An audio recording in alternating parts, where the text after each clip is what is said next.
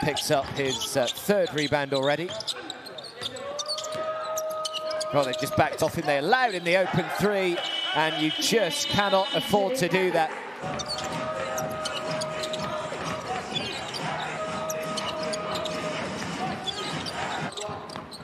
Here's CJ Harris. Harris pulls up, throws the two, nice. And Holon with an opportunity now to try and take the lead again. Oh, what a pass that is. Beautiful dish.